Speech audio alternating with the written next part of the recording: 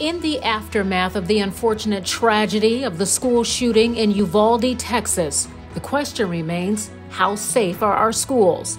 I'm Donna Terrell. Join me as we speak with officials and administrators about our school safety policies this Friday on Arkansas Week.